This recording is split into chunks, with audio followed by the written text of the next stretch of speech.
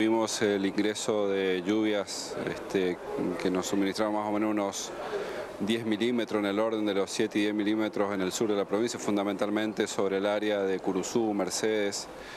Eh, eso alivió bastante los focos en el centro sur de la provincia. Estábamos con un incendio aproximadamente que venía quemando hacía cuatro días este, en un sector de la ruta 24, kilómetro 24. Bueno, eso quedó controlado hoy entre los bomberos y obviamente la lluvia ayudó a, enfriar los focos que se venían dando.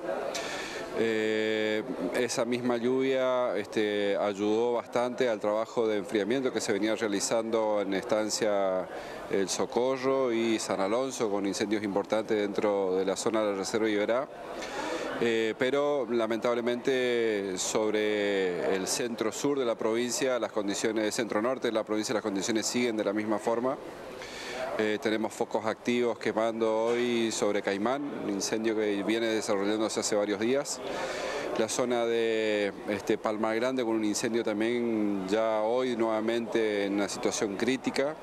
Eh, en este momento tenemos varios equipos trabajando en esa zona.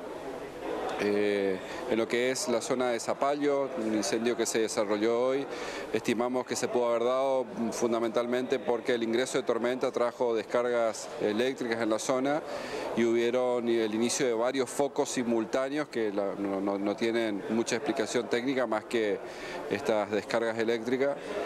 Eh, también en la zona de manantiales hoy se estuvo combatiendo y actualmente está en desarrollo un incendio bastante importante, la zona del Pollo, empedrado limpio con incendios este, en proceso, en la zona de, Ensenada, de Ensenadita, departamento de San Cosme, kilómetro 1050 de Ruta Nacional 12, hoy un incendio importante interfase donde se vieron involucradas varias, varias propiedades.